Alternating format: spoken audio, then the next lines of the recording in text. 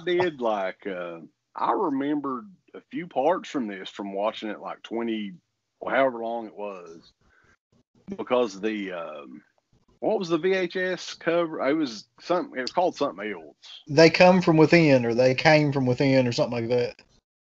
Yeah. So this was David Cronenberg's very first feature length movie from 1975, I think. Is that right? Yeah. And you're more of the- 75. you're more of the Cronenberg aficionado than me. I always see most of his movies as just weird, fucking like. And this is no different. This is no, No, different at all. No, it's not. Oh. Like you can totally tell, like how he got, you know, that this was the beginning, and then everything else was just they gave him more money, but he was still doing the same thing. Like this movie, a little bit of backstory about this movie was actually funded by the Canadian government. this is so killer. It was funded by the Canadian government because they were trying to get into, you know, making films and what would later become like you know the big film industry in Canada where everybody like Romero and all those people would go to make cheap films basically started around this time and the funny thing about it is that after it was made uh the film industry was like nope we don't want to do this shit no more and they actually they actually seriously like um they kind of withheld money from a lot of different films, including uh, Cronenberg's next films, for a couple years after this film came out. But Hmm. oddly enough, it was like it was like the biggest independent film in Canada. I think it still is, or close. Right. Well, I mean, the um, yeah, the plot of this movie is kind of out there, though. I mean, just a little bit. Like, I guess the, you know, the whole story is a scientist comes up with using parasites to. I think the whole thing was to like help heal, like if you've got a bad kidney or something like that. The parasite goes in there and repairs it or replaces the kidney or whatever. But things do not go as planned with the little parasites. They don't work out like the scientist thinks they're going to, and uh, and it all happens in this apartment complex um, in Montreal, if you will. So, yeah, this movie is uh, also like the. I guess the parasites make the people extremely horny as well, and just uncontrollably. yeah. Yeah, it's weird because it's kind of it's kind of like um what I don't know what you compare it to, like Night of the Creeps and Slither and movies like that. Except in this one, like rather than it turning, I guess it does turn you into a zombie in a way, but you're just like super sexualized. And I still think that it has one of the best opening scenes in terms of like uh grabbing your attention Mhm. you remember the opening scene is just like this guy and you don't know what the hell's going on. It's like this guy and this girl and they're fighting and like he pins her down, starts choking her, and you're like, oh, Lord God, like what's he gonna do? Rape her or something? Like you have no idea. And then the, the next cut, he's kind of like got a scalpel and opens her up, pours acid on her and all this stuff. But you come to find out that like that was the scientist that was working on the parasites and he's basically trying to like kill them off before they infect other people. Yeah, and they have like a few other really bizarre scenes. There's a scene with like a real fucking old man and like a younger girl. And Yeah. they're kind of making out a little bit. And then there's a scene with uh, two kids that have leashes on and they're treating them like dogs. And almost every female that's in this movie, you get to see their tits. So yeah, yeah. that, It's that might be a plus for some people. I mean, Lynn Lowry's in it, so, but also like Barbara Steele's in it. I'm like, yeah, that's a hell of a like casting choice for this movie. Yeah, Barbara Steele, uh, this was in 75, and those Bobbin movies that she did, I'm thinking was like probably 15 years earlier or something like that. Yeah, 10, 15 Yeah, all that years stuff. earlier. I can't remember what years those come out, but yeah. Um, but yeah, I mean, it's kind of like a weird, wacky. in a way, like I don't know if you, it is kind of like a zombie movie almost. It reminds me visually a lot of the a lot of the camera techniques and the sound and stuff of Dawn of the Dead. Like when I was watching it again, I was like, huh, because it was around the same time frame and everything. So Yeah. visually, it kind of looked a lot like Dawn of the Dead. I thought.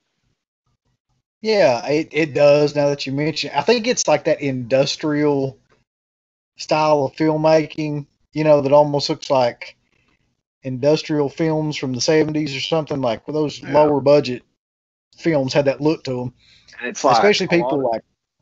a lot of the background noise and stuff, I guess, was filmed the same way. Like I think it's a lot like that in Italian horror movies too, to where Yeah. like I, I don't know, I don't know if this is this way in Dawn of the Dead, but like it, it definitely reminds me of some of those older movies. Like every time somebody steps anywhere and anything, it's like a fucking high heel or something. You know what I'm saying? yeah, Like, it's yeah. very and I don't know what that is, but that kind of adds something to it. I don't know, like the I guess what do they call those? The the grip that makes those noises or something. Like Yeah, that makes the I don't know. I guess they're sound effects. I guess, but yeah, yeah, I know what you mean. Like everything's very, very like uh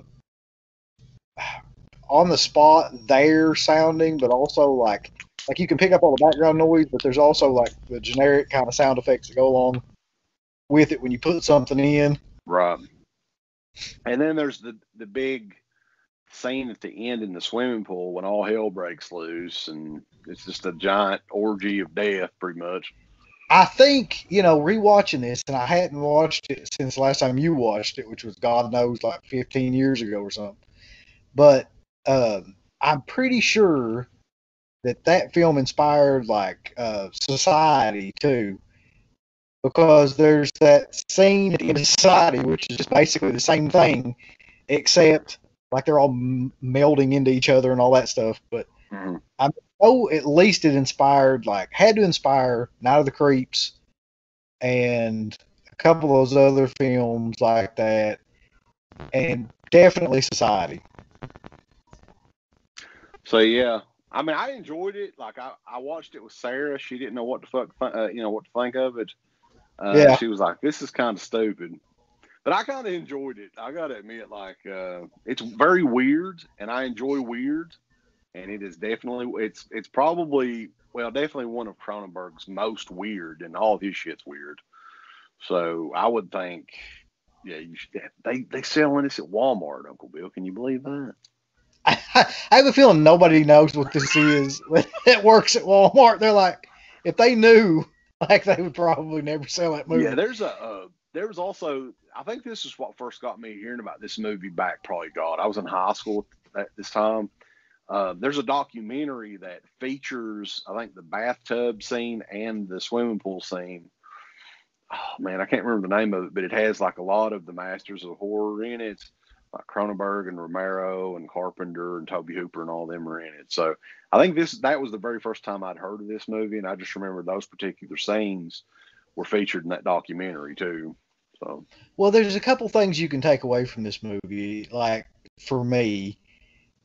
And number one is is that from the very beginning of this movie, you can see that he's somebody that number one knows how to get your attention in a movie. Number two is like not really playing by any of the rules of what was like acceptable at that time.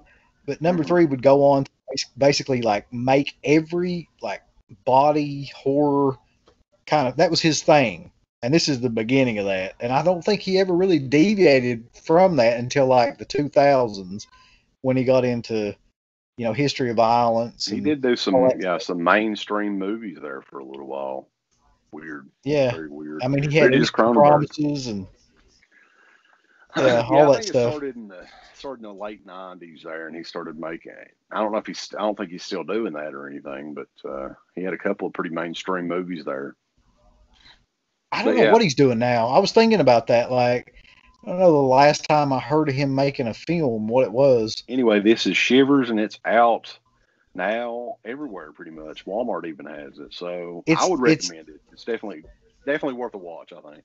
I mean, right now you can get it for ten dollars on Amazon, so it's definitely worth ten dollars. And they Shit. did they did do a great job with the transfer on this as well. And there's some Michael Felsher did the special features on it. They have interviews on it, commentary.